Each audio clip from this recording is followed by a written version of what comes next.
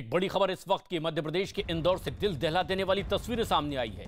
इंदौर के तेजाजी नगर इलाके में घुसे एक तेंदुए ने रेस्क्यू ऑपरेशन के दौरान वन विभाग के कर्मचारियों पर हमला कर दिया। अचानक हुए हमले से वन विभाग का कर्मचारी संभल नहीं पाया और ज़मीन पर गिर गया।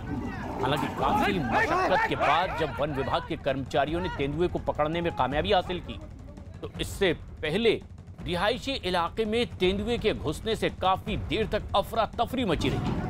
बताया गया कि तेंदुए के हमले में एक ही परिवार के तीन लोग बुरी तरह से घायल भी हुए।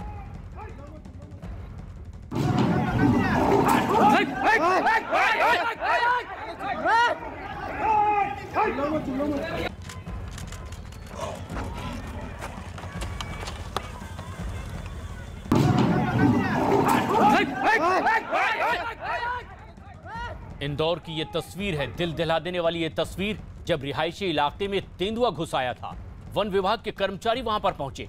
लेकिन अचानक पलक झपलते ही जब उन्हें लगा कि वो खेत में कहीं दूर चला गया है, उसने वन विभाग के ही एक कर्मचारी पर हमला कर दिया। और इस बीच एक बार फिर अफरा तफरी मच गई। लेकिन तेंदुए को आखिरकार पूरे ऑपरेशन के बाद पकड़ लिया गया।